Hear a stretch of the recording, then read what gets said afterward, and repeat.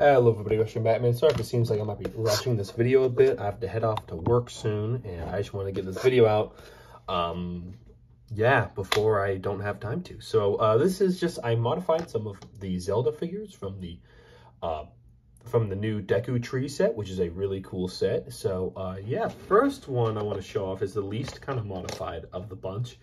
Is here is just uh, Zelda. Now all I did for her is I just um, darkened this inside waist. For some reason, they did that the same color as the rest, and it just kind of looks weird, so that just makes it look a little bit better. And also gave her the fingerless gloves that she has, but I didn't really do much else, and uh, that's it, so not really much going on with Zelda. Next one is, I'm really proud of this one, is just the default Breath of the Wild uh, Link. I mean, I guess not default, the Hylian Tunic Breath of the Wild Link. Um, this one, what I did is I just, I, paint, I gave, painted up the boots and I gave it like arm painting, I guess. I gave those weird wiggly designs he has on there and then some also designs on the, um, the little sh shoulder sleeve. And yeah, that's pretty much it. And when I had this figure, I have, I did make a Tears of the Kingdom link before. This is what it looked like before.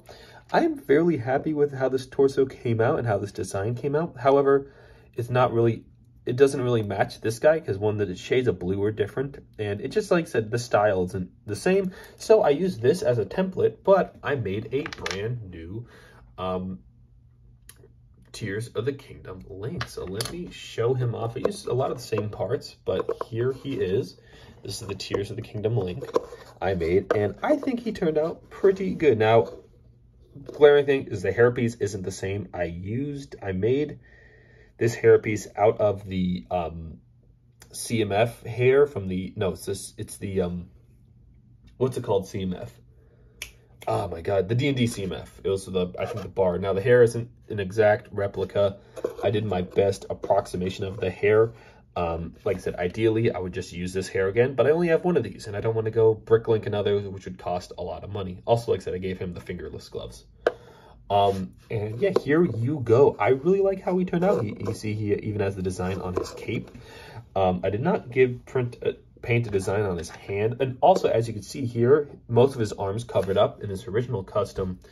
Uh, you see his, his kind of arm is exposed. The reason why is because on the Amiibo that I referenced, his arm is exposed. However, in actual game, if you wear this outfit, uh, you can only see his hand. You can't see the rest of his forearm which kind of covers up the design, but but I think it just kind of makes it uh, you know more game accurate. Uh, whether or not I think it looks better is womp womp womp. But uh, yeah, and that's pretty much it. Like I said, more accurate blue. You can see here on his, he has that little shoulder thing. And I really like how this turned out. And you just use the same face. Luckily, the set gives you two of these faces because it uses another face for the older Link, which I had to, you know, get rid of his head for.